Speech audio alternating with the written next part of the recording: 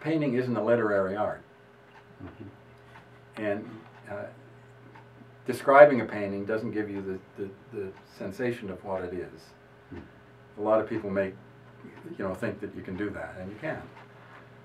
So, and a lot of the things that happen in art are just beyond words. I mean, you just, it's a visual art, and it's, it's built with visual things, and it's for your eyes, and, and uh, uh, trying to nail down these things doesn't always work.